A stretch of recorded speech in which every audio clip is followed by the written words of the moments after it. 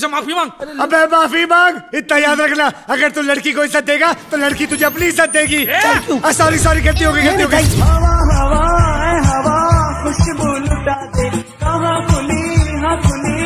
हाँ डर गई जरा मुझको बता बार मिला दे यार मिला दे यार मिला दे Thanks! Love you!